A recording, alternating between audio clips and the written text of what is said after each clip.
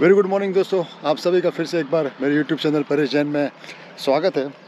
वैसे बता दूँ कि आज राजस्थान में मेरा डे टू है और डे टू की जो शुरुआत है वो मैंने मॉर्निंग वॉक से की है। आ, वैसे मॉर्निंग वॉक करने के लिए जो अलार्म थी वो सुबह की मैंने लगाई थी सात बजे की। लेकिन सर्दियों के चलते और रजाई को ओढ़ने के बाद में सुबह सात बजे उठना बहुत ही डिफ़िकल्ट हो गया मेरे लिए आज। तो इस वक्त नौ बजे है और दिन की शुरुआत मैंने मॉर्निंग वॉक से की है तो वॉक के लिए इस वक्त मैं अब भंदर से टूवर्ड्स नाना स्टेशन जो कि करीब आठ नौ किलोमीटर का वॉकिंग डिस्टेंस है। तो इस पूरे डिस्टेंस को वॉक करके मैं इंजॉय करूँगा। दोनों तरफ़ जो आप देख सकते हो, मेरे बैक साइड पे भी इस वक्त राइट साइड में सरसों के खेत है। और सुबह सुबह इस वक्त यहाँ पे चलने से बहुत ही प्योर और फ्रेश ऑक्सीजन मिलती है, और नज़ारा जो है बहुत ही खूबसूरत होता है। तो चलिए आप भी मेरे साथ में इंजॉय कीजिए मॉर्निंग वॉक को।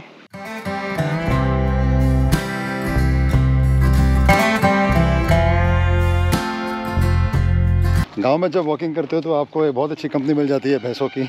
आप जहाँ कहीं भी वॉक के लिए जाओ, आपको गाय और भैंसे आपके आसपास ही दिखेगी आपको।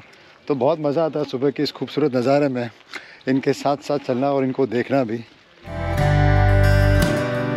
इस वक्त यहाँ पे मिट्टी की इतनी खूबसूरत, इतनी ज़बरदस्त महक आ रही है। वॉक कर रहे हो आप फ्रेश ऑक्सीजन और साथ में मिट्टी की भीनी भीनी सी खुशबू। ये एक बहुत ही ब्यूटीफुल मोमेंट है मेरे लिए मॉर्निंग वॉक का। ऐसा कभी भी आपको सिटीज़ में करने नहीं मिलता है। यही तो बात है कि सिटीज़ को छोड़ छोड़ के मैं अक्सर ट्रैवलिंग के लिए दूर कहीं भी चला जाता हूँ। और राजस्थान से अच्छा ट्रैवल राजस्थान से अच्छा घूमने का। राजस्थान के में जितना अच्छा फ़ूड मिलता है, दुनिया में कहीं पर भी नहीं है। तो सर्दियों के मौसम में आपसे भी यही कहूँगा कि यहाँ वहाँ आप फालतू के खर्चे करो और दुनिया भर के लंबी लंबी ट्रिप्स के होटल्स के पैसे वेस्ट करो। इससे अच्छा अपने राजस्थान में, अपने घर पे, अपने गाँव पे आ जाओ और आसपास के एरिए में जितना दिल चाहे उतना घूमो और फ्रेश एयर को लो। और हाँ बिना दवाई और छिड़के वाला खाना, सब्ज़ियाँ यानी कि यहाँ पे सारी फ्रेश वेजिटेबल्स मिलेगी आपको। वो खाओ फ्रेश काओ मिल्क पियो, ये सब कुछ यहाँ पे है। तो इन्जॉय कीजिए राजस्थान आके, जैसा कि मैं कर रहा हूँ इस वक्त।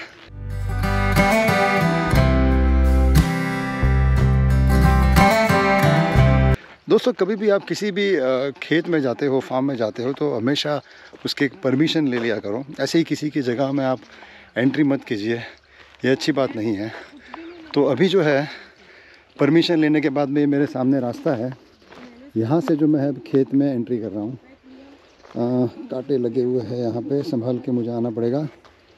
ये कि मैं ज़रूर पूछ के इस वीडियो के दरमियान मैं नीचे डाल दूँगा डिस्क्रिप्शन में। या फिर इस वीडियो पे लिखूँगा कि ये किस चीज़ की फ़सलें हैं।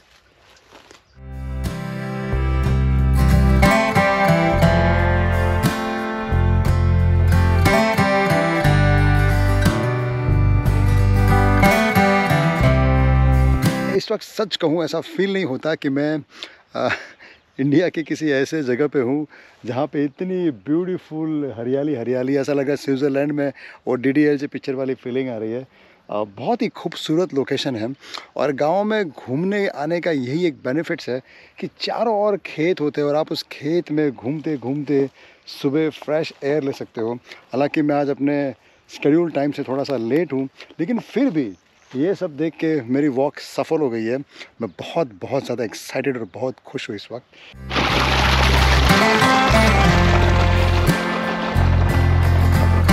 दोस्तों इस वक्त मेरे साथ में किशन जी है। हाँ जी जी। बराबर ये पूरा खेत के इंचार्ज और पूरे खेत को यही मेंटेन करते हैं। अच्छा जी, तो अब मुझे मिले यहाँ से तो किशन जी से हम थोड़ी जानकारी लेंगे कि ये फ़सल किस बारे में क्या है। तो किशन जी बताएँगे। तो किशन जी बताइए किस चीज़ की फ़सल है यहाँ पे ये? ये जो रैले की है रैले की। रैले की? हाँ जी। मतलब सरसों ही हुआ ना ये? सरसों हुआ है। इससे क्या तेल निकलता है? तेल निकलता है नहीं। अच्छा अच्छा। और किस चीज़ की फ़सल है यहाँ पे इस वक्त? अभी वो है ना साबिल अंडे वाले सरस में अंधी आते ना हाँ। छोटे से हो हाँ। वो पेड़ खड़े हैं शामिल। अभी थोड़ा घुमाओ मैं खेत में और किसकी फ़सल है यहाँ पे? हाँ जी आप घूम सकते हो तो गेहूँ के है ना? गेहूँ के कहाँ पे है? वो निचले भाग में है वो है उधर है ना? तो बताइए ना मैं आइए ना साथ में। हाँ तो अभी किशन जी के भाई मुझे मिले और किशन जी ने उनके भाई को मेरे साथ भेजा इस पूरे खेत को एक्सप्लोर करने के लिए। तो उन्होंने अपने बड़े भाई धर्माराम जी को मेरे साथ में भेजा है। तो धर्माराम जी धर्माराम जी से आपको मिलाता हूँ। मेरे साथ धर्माराम जी है। तो धर्माराम जी ज़रा बताइए कितने साल से आप यहाँ पे काम कर रहे हो इस खेत में? बीस साल से। बीस साल से यहाँ पे काम कर रहे हैं हम्म। और यहाँ पे किस प्रकार की खेती होती है? सरसों की और गेहूँ की और मक्की की। सरसों गेहूँ और मक्की की। हाँ और, और और जो सामने जो है वो किस चीज़ के पेड़ है जो यहाँ पे लगाए हैं वो?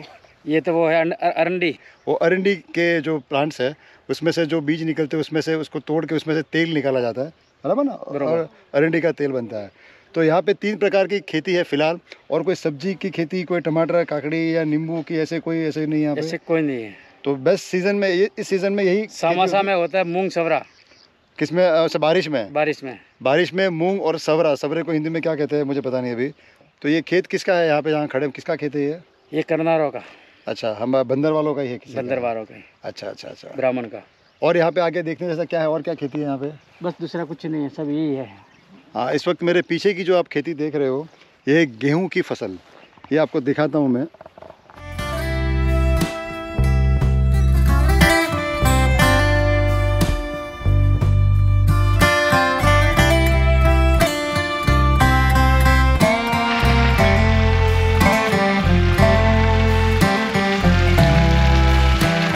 दोस्तों, इस वक्त दोपहर के ढाई बजे है और आज का जो प्लान है, वो हमने कुछ ऐसा किया कि हम सीधे यहाँ से कार लेके निकल रहे हैं कामेश्वर जी महातीर्थ की ओर जिसके ऊपर जो है हमारी बहुत ही ज़्यादा श्रद्धा है।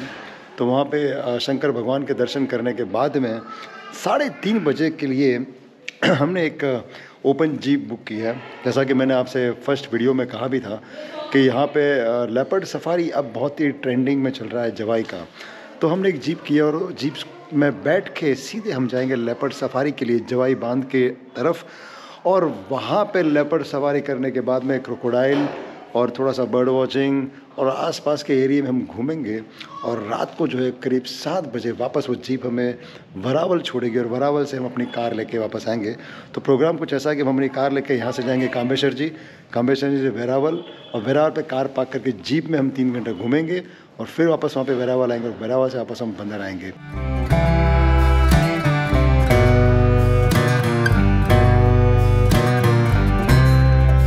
कामेश्वर जी महातीर्थ पहुँच चुके हैं। यहाँ पे जब आप आते हो तो यहाँ पर आपको बहुत सारे, ढेर सारे मंकीज़ मिलेंगे। देखिए इस वक्त मेरे सामने। मंकीज़ ही मंकीज़ है। और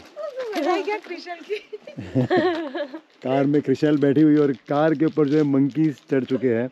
और क्रिशल को बुरी तरह से घेर लिया है। मंदिर में जाने के लिए आपको स्टेप से चढ़ के ऊपर की तरफ़ जाना पड़ता है, लेकिन हम ऊपर नहीं जाएँगे। हम नीचे ही बैठ के यहाँ पे, नीचे ही जो छोटा सा मंदिर यहाँ पे दर्शन करेंगे, और फिर यहाँ से हम वरावल के लिए जाएँगे, जहाँ से हमें जीप पकड़ के सीधा लपट सफारी के लिए जाना है।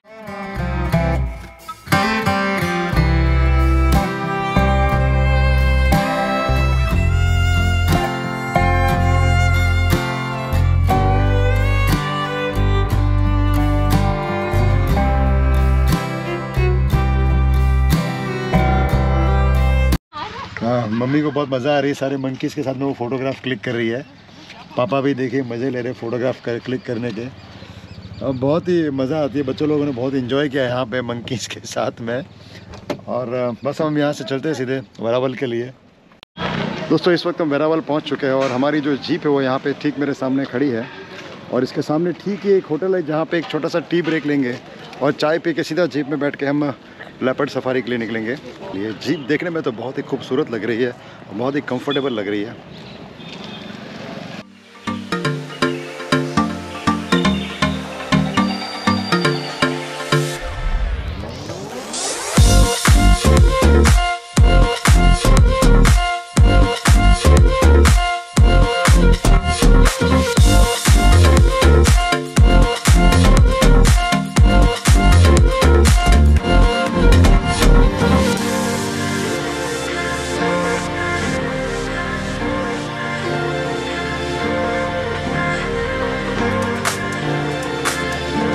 दोस्तों, इस वक्त इरफान भाई जो हमें जीप में बिठाकर जवाई नदी के बीच में लेके आए हैं, यहाँ पे जवाई डैम जो है। हालाँकि इस वक्त सर्दियों का मौसम है तो पूरा ये जगह जो है सूखी है, पानी इतना नहीं यहाँ पे। तो इसी के चलते हम यहाँ पे एडवेंचर राइड कर सकते हैं, जो कि आपको मैंने अभी शूट करके बताया। बहुत ही ब्यूटीफुली एडवेंचर राइड इस वक्त हम लोगों ने की है।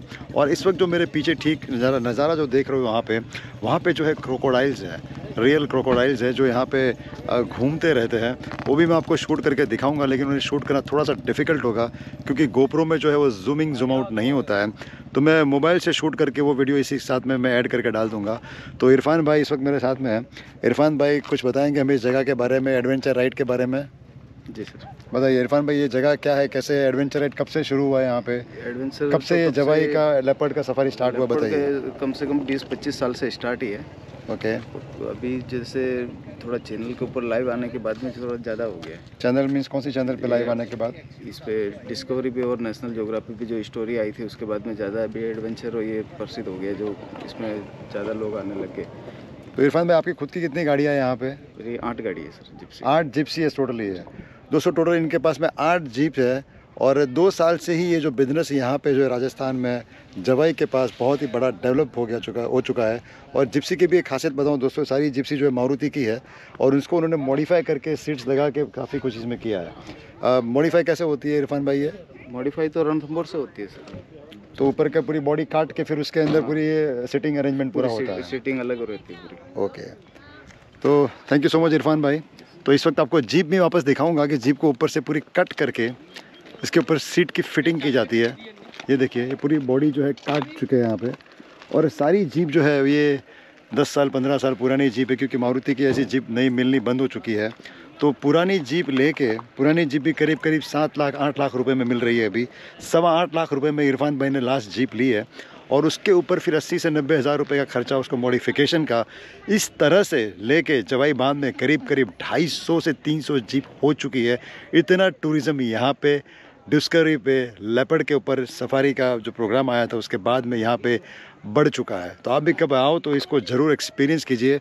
एक और बात कहूँगा कि काफ़ी सारे लोग जो रहते हैं, वो इंडियंस काफ़ी मैंने देखा है, और मुझे भी लोगों ने कहा कि क्या ज़रूरत है तीन हज़ार, चार हज़ार जिप्सी का देखे अपने पास अभी कार कार से भी घूम सकते हो। मैं कहूँगा दोस्तों कि कार से आप ये एडवेंचर नहीं कर सकते हो। आपको इस एडवेंचर को करने के लिए जीप ही हायर करनी पड़ेगी तो ही आप उसका पूरा मज़ा ले सकते हो।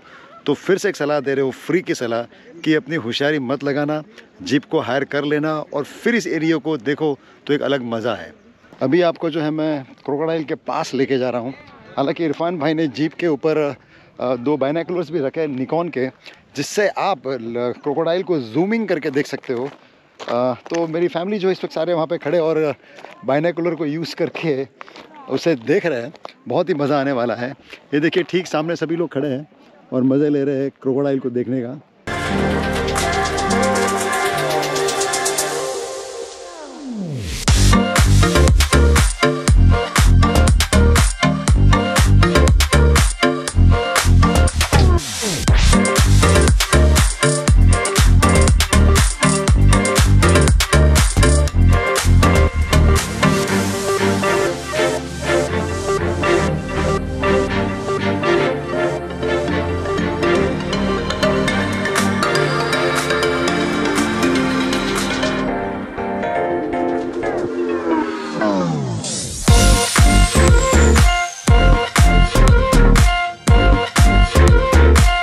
इस वक्त सात बज चुके हैं और हम लेपर्ड सफारी से सीधे भी आए हैं। और बेड़ा से थोड़े दूर एक होटल पे, जिसका नाम है माउंटेन जवाई करके एक होटल है, जहाँ पे हम डिनर करेंगे। यकीन मानो दोस्तों, जब कभी भी राजस्थान आते हो तो जवाई लेपर्ड को मिस मत करना। आप इस सफारी के लिए ज़रूर जाना। इतने साल से मैं इस गाँव में रहता हूँ और मेरे पास में ही पाँच सात किलोमीटर के डिस्टेंस पे इतना सब कुछ हो गया है।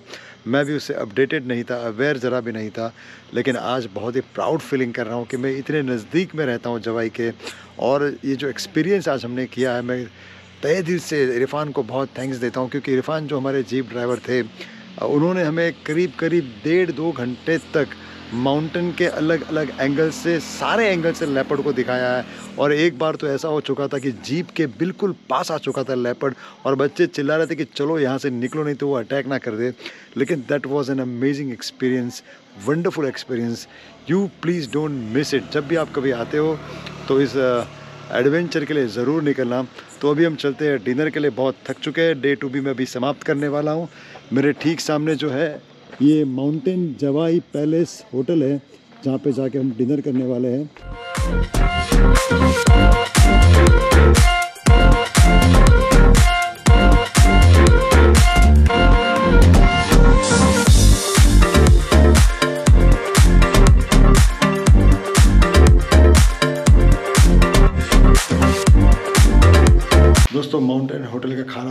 बहुत ही टेस्टी था, बहुत ही यमी था। आप जब कभी भी हाईवे से निकलो तो वहाँ पे जाके आप लंच या डिनर कर सकते हो। It was mind mind blowing दोस्तों डे टू भी इसी के साथ राजस्थान में मेरा आज ख़त्म हो चुका है। बहुत ही एडवेंचर से भरा हुआ डे टू था। तो इस एडवेंचर को यहीं अब ख़त्म करता हूँ। बहुत देर हो चुकी है बहुत थक भी चुका हूँ। तो मैं इस व्लॉग को डे टू का यही समाप्त करता हूँ और उम्मीद करता हूँ कि आपको वीडियो बहुत अच्छा लगेगा। अच्छा लगे तो चैनल को सब्सक्राइब ज़रूर कीजिए और वीडियो को लाइक और शेयर ज़रूर कीजिएगा। तब तक के लिए गुड नाइट